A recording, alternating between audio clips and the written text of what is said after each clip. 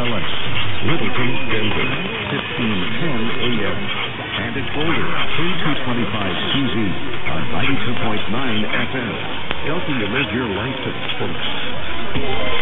It's time for a Heartwise Health Break. I'm Charles Mills. Here are two timely health tips.